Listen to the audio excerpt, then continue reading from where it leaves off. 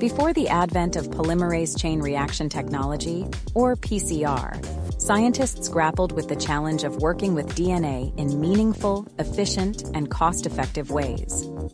The struggle? Extremely small sample sizes and painstakingly slow processes.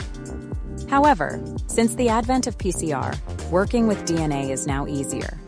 PCR has enabled astonishing advancements in molecular biology that have far reaching impacts in healthcare, agriculture, criminal justice, and other industries. But what is PCR? It is a scientific process used to amplify DNA samples from minuscule to substantial amounts, so the DNA can be properly analyzed and studied. There are a number of PCR methods. Today, we'll explore the four most common ones. First, there's standard PCR, the original method, which is fundamental for various applications in DNA based testing, but lacks a way to quantify DNA amplification.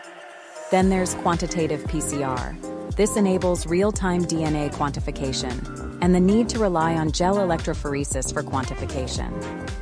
Next is reverse transcription PCR, a process that converts RNA into DNA, offering insights into gene expression and viral RNA. Finally, there's multiplex PCR, a process capable of amplifying multiple DNA targets simultaneously. It excels in high throughput screening and pathogen identification. Each PCR process is unique, however, they all follow the same basic four steps.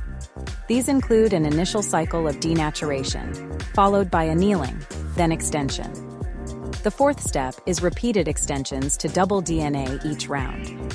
The use of thermal cyclers is essential for all PCR processes.